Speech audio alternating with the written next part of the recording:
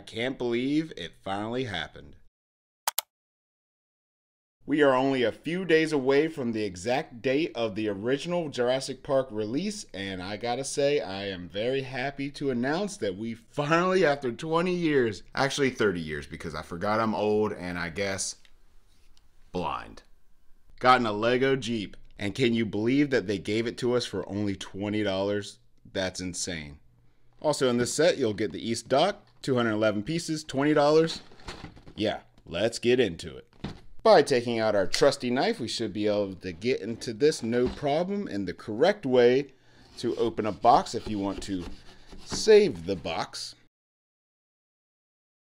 And inside we get two number bags, the instruction manual, a small sticker sheet, and a jawless Dilophosaurus.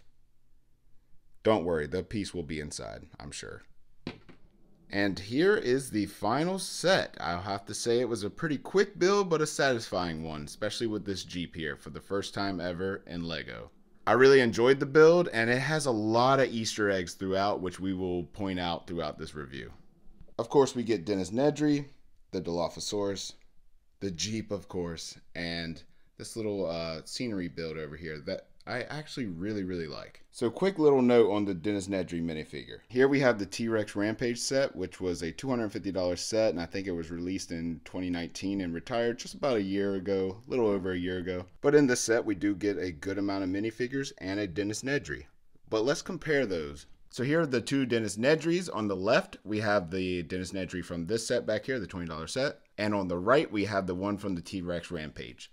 So I wanted to take a quick look at these because there's some interesting differences. So they both have two faces, regular face, this one's a little bit more evil over here, and the faces with the Dilophosaurus venom. But what I found interesting was that there's a different color Jurassic Park logo on each of these figures. So over here it's a little it's more red, over here it's more yellow. So after reviewing the footage and I'll show some images on the screen now, it is mostly yellow with a little red um, stripe around the logo. So I kind of give the accuracy to the new figure a little bit more in this situation over the more expensive T-Rex Rampage. However, it gets more interesting when we look at the back. So, in the new figure, there is no Jurassic Park logo on the back.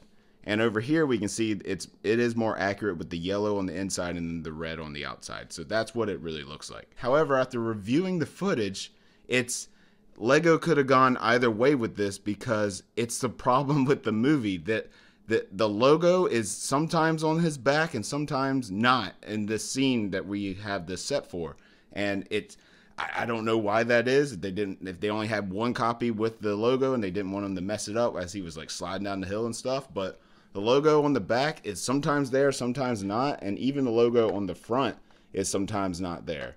Would it have been nice for Lego to add it? Yes because they already had it before. But it's actually kind of funny that they took it off, and maybe that's a they're trying to give us two versions of the same figure. One is accurate, and the other one is accurate. It just depends on what individual moment you're looking at the movie.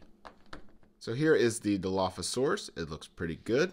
It's not a complete all the way around kind of like more in the movie, but I mean, it, it looks well enough in my mind and mouth opens up. Nice little snap to it.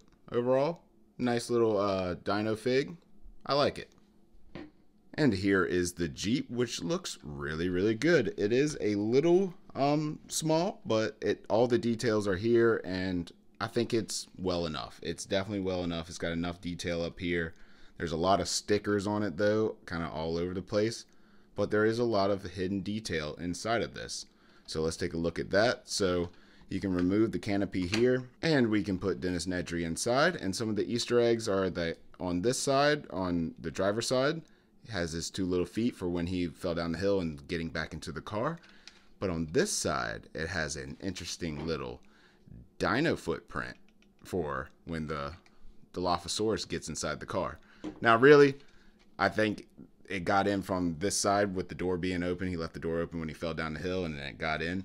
But I like that touch of detail. That was really fun for Lego to do. And yeah, I'm super glad that we finally have this in Lego. Now, Lego could have released this set with just these two pieces for $20, and I think it would have been fine. But I actually really enjoy that they included this because it adds a lot of Easter eggs and it really completes the scene. So one of the play features is that the truck can come by and just knock this right off. It's supposed to do that with the jumper plate. So he runs it over like in the movie, which is accurate and cool and good play. And then over here we have the Barbasol can, which is cool. It's all printed pieces on the can and the lid. And we have a little frog here, white frog, which I'm guessing is supposed to show the uh, frog DNA in the missing gaps of the di- dino DNA. But with the sign itself, I mean, all of these are stickered pieces, and this is a little hard to uh, place here because it's octagonal on a circle and it just kind of messes with your mind. But you can break this off again, and what's really cool is that this is like free spinning. I mean, if you kind of remove some of these pieces. Just like when he's uh, after he knocks it over, he's spinning this and he's like, I don't know which way is east. So that's a lot of play features there. Some Easter eggs. It looks good. They have all the detail. East Dock. They have this um, map of the island and the spinning thing. You can knock it over. Barbasol can. You got your Dilophosaurus. You got your Jeep. You got your Dennis Nedry. What else do you need for $20? Overall, this set is excellent. It's a definite pickup for $20. It's a 9 out of 10 for me. And if you enjoyed the video, please consider giving it a like. And until next time, keep building and thanks for watching.